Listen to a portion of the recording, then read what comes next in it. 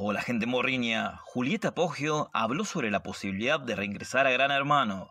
La hermanita se refirió a las chances de volver a la casa más famosa del país. Antes de ver todos los detalles del video, por favor no te olvides de suscribirte, es totalmente gratis, activa la campanita para que te avise cuando hay un video nuevo y si te gustó dejamos un like.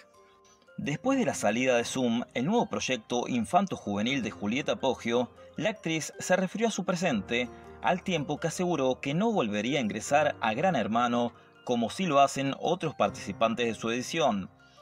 Poggio, quien además es panelista del debate del reality por Telefe, deslizó en una comunicación con Agarrate Catalina que este Gran Hermano es difícil, es un juego muy picante, es una casa muy distinta de la que yo viví, es lo que la gente quiere ver Gran Hermano es un reality muy real, el más real que conozco.